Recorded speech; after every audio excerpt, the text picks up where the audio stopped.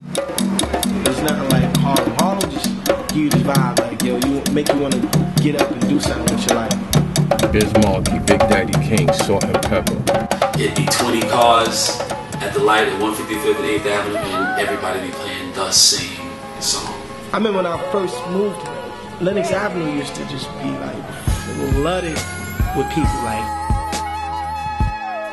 and you just know you was in Harlem. It's just real. It's. Out of all the boroughs, they say Harlem is the freshest. The balling lifestyle was born here. Harlem always was flashy.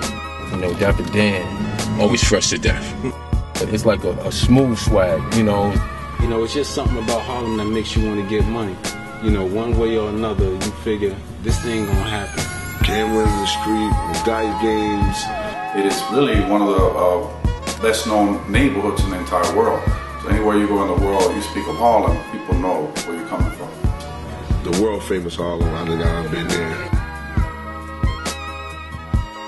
Harlem was rough.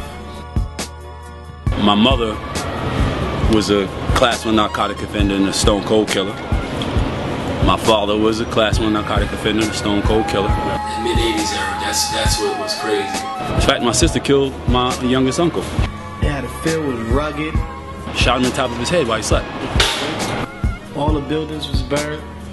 It was like, it, it, it had a, a, a crazy vibe to it. You know, just because you uh, could didn't mean you did because it was a system. Um, the crack era kind of changed all of that. I mean, you might walk in the block and you might get robbed. He, he just did it, he pushed a button. I remember back in the days, there could be a lot of dope fiends playing around. Too many of them grew up without their fathers. The neighborhood was love. Coming to pride, everything was just love. We need to just love one another again. If we can love one another again, our problem will be fixed.